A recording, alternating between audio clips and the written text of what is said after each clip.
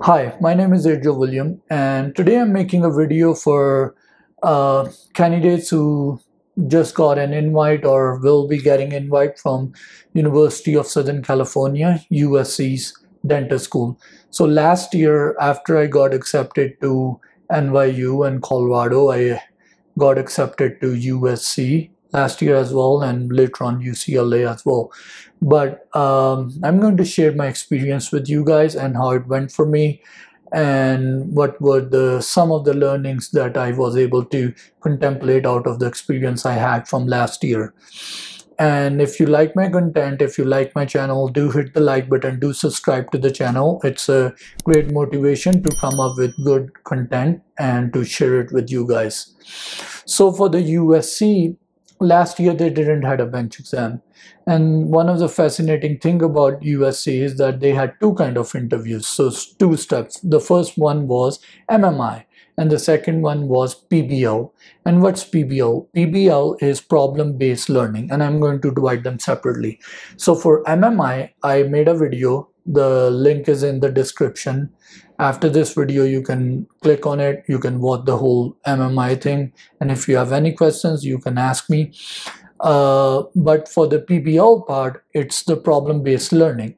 And what they it's a learning technique or learning style which usc uh, strongly believes in is that they put you into small groups and they give you task assignments and other learning methods uh, that you have to complete, activities that you have to complete within small groups. And they simulate the same kind of environment or the same kind of situation for you during the interview. And why do they do that? Because you might be the best dentist, you can do the best clinical preparation for a crown prep, you might have the best speaking skill or the best managerial skill but if you don't know how to work with other human beings in a team or a group setup that's going to be a big i would say negative trait or attribute for you to get into the school.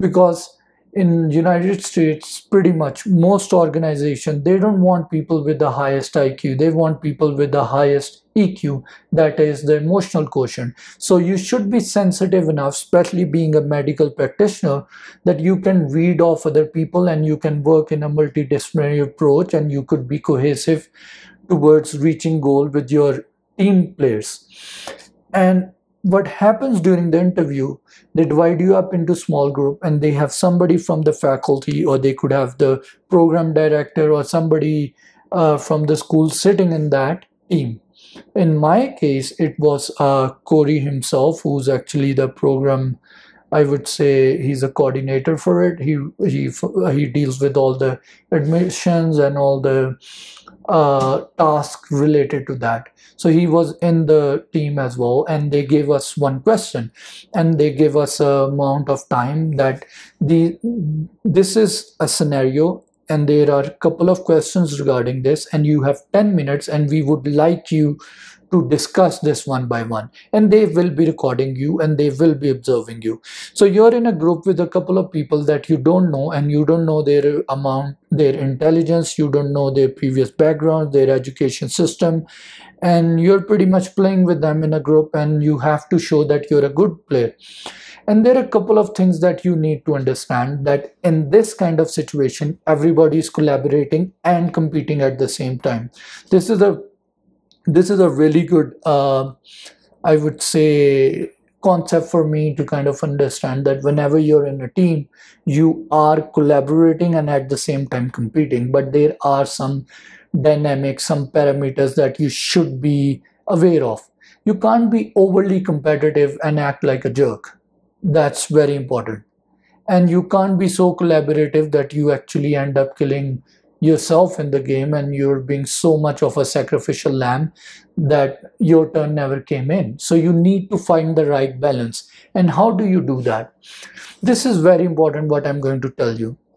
And it took me a little bit of uh, time to go through some research to find this. But for all interviews, people who are highly extrovert and people who are good looking usually get preference over other people. I know this sounds uh, obnoxious and it's not very good to hear, but yes people who are extrovert and who have a good uh, physical appearance comparatively they get more preference over other people. And that's uh, it is what it is. And i hope the schools or the admission committees can actually go through this research and actually read this. This is for truth and one thing while i was reading this research and i was thinking about this but there's always a way out. It's not like if you're not an extrovert you can't come up with something that could make you impressive. So i've actually in my life i've learned to adapt this skill. I was born with an extroverted kind of uh, nature. I've been an extrovert. I speak a lot and that's one of the reason i make youtube videos. But on the other hand i've over time taught myself to be introvert because if you're working in a group and there's somebody who's more experienced than you who is a uh, more extroverted than you and maybe he has a more charming personality and if you start to compete him ambitiously and trying to overexert your speech and showing that you're uh, you're also trying to compete that person it's not going to give a very good vibe. Because now you're chasing something that is way ahead of you and you're going to make a mockery out of yourself. So what's the solution?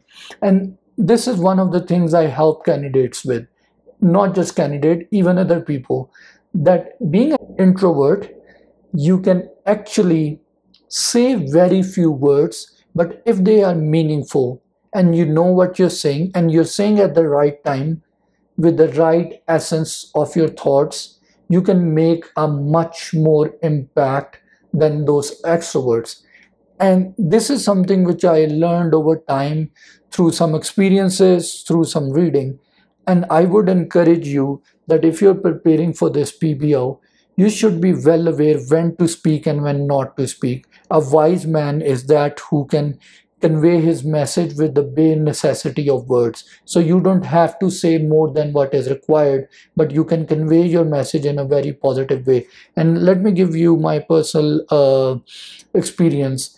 When I was in the group, there was one female uh, candidate, I think she was from India, and she was really good with her words and she was an extrovert and I could see that she was pretty mature with her ideas and they were very well articulated in that group. And when i was listening to her i was and it takes a lot of effort from somebody that i actually end up admiring them but she was admirable when it comes to her interview skills and i knew that i not i'm not going to ambitiously try to compete her in that group and look it will just it will just make me look foolish and childish so what i did is I waited for her to speak and finish what she's saying because she was saying it good and she was making sense.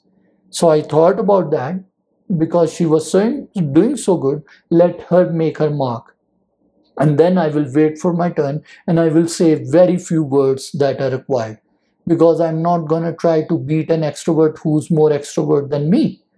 And that's how you kind of judge and analyze. I've made a video uh, last year before the interview where I said this that if in the group there's somebody who has 12 years of experience as an endodontist and you're a fresh graduate, then don't try to say something in the group that that the other person can easily negate. You should be emotionally intelligent and smart enough to know that if there's an endodontist sitting in the group, if there's somebody who's far more experienced than you then do not try to make a statement which can easily be nullified or you are not sure of. So you don't want to open up a whole new can of worm. So be very aware of what kind of environment you're sitting in.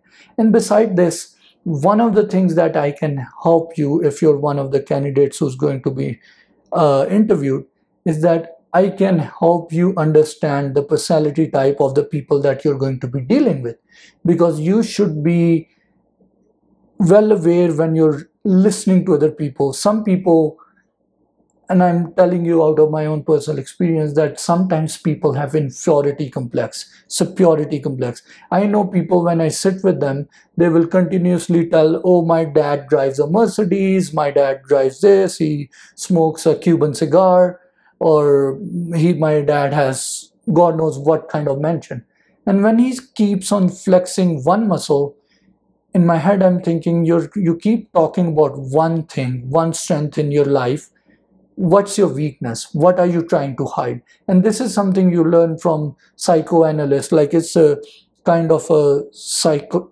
branch of psychology which teaches you when people are over flexing some muscle they have some kind of inferiority complex that they are trying to hide and if you look very closely, like if you're sitting in a bunch of dentists and somebody keeps saying, oh, my root canals are the best, I did this research, this research, and he's overflexing his muscle, then you're trying to understand why is he doing it? What is he trying to compensate for? Because most of us humans are compensating. And if you look at them closely and if you understand, then you realize that what's going behind in their head and which most people don't even know.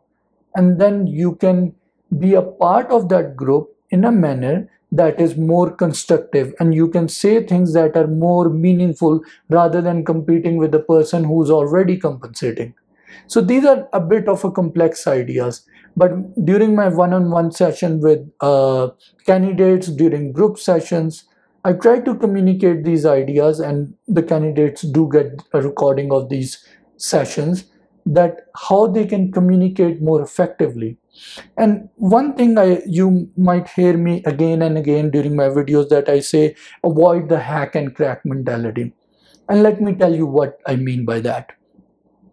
What i mean by hack and crack mentality is if in us they call it snake oil marketing or uh, in pakistan or india if you travel somewhere uh, in a bus in a train you will see somebody walking up into the train or the bus and comes and tells you about a powder or in, in Urdu I would say churan. So they come and tell you about a herb, about a powder that they are saying this is a powder which can fix your alopecia, hair fall loss, or which can help you with fertility within two days. And these, these are clickbaits. People sell you things or tell you stuff because they know you're desperate and they will tell you about quick fixes because that gets them money and that gets them attention and that gets them what they want. But what I try to convey people and which it took me a lot of time to understand after being exploited through different phases of life is that critically think, is it possible or what they these people are saying, how much truth is it? So if somebody is telling you uh, hacks and cracks, avoid it. And one other aspect with this whole term hack and crack, and you need to understand this concept. Every word from a linguistic point of view have some kind of connotation. If I say excel in your life, strive for excellence, what happens every word I say or every word anybody says actually triggers an emotional response in your brain. And when you use the word hack, and crack those are very negative terms. If you speak them in front of anybody it will trigger a negative response in their brain. I'm talking internationally. I know in some part of the world it's a clickbait. People want when they hate these terms they want to buy things because these are quick fixes. But when you listen when you compare them and listen listen to them from an international perspective they are a very negative word. They have very negative connotation. And i've thought about this. Why i'm saying this if you lived in us for a while and you came here you bought a cell phone you got your atm bank account after a couple of days you will call, get a scam call. And that scam call will be from a part of the world which where people would have an accent similar to mine. And they will try to scam you and they will try to hack you. So comparatively this word when when in us anybody says oh i'm trying to hack and crack a interview or a course or something like that that sounds very negative. And i would highly encourage you to not use these kind of words i know these are very good for marketing and people like to use it and sell it because they want to get what they want in life. But you as a consumer should be reasonably smart enough especially talking to doctors and dentists that you should be smart enough to analyze that if somebody is trying to sell you something like this what's the conversation behind it? And is it worth it in your life. Because you one thing i keep telling people sometimes you have to lose a match in order to win the tournament. Stop thinking about the match all the time. Think long think about the longevity of life longevity of your profession the longevity of your vision in life a purpose in life. And those are very important questions that you need to understand that sometimes you have to pay more. Sometimes you have to avoid the things that have to be avoided in order for the longevity of the good. And i hope this this video actually helps you out because it takes me weeks maybe sometimes even months to articulate my ideas.